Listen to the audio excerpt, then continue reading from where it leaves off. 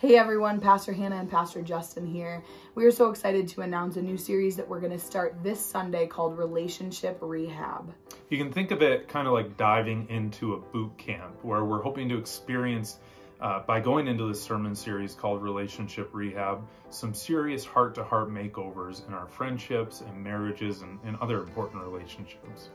We thought the month of love was a perfect time to talk about this more in depth and really dig into the messy and meaningful parts of our lives. And each of these sermons is going to be like a toolkit that we're going to give you to begin to fix some of those cracks that may have formed in some of those relationships.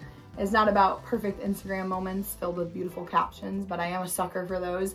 It's more about finding grace even in the midst of conflict and coming out on the other side even healthier. Yeah, so we hope you'll join us this Sunday, February 11th at 10:30 a.m. as we kick off our brand new sermon series called Relationship Rehab. We'll see you there.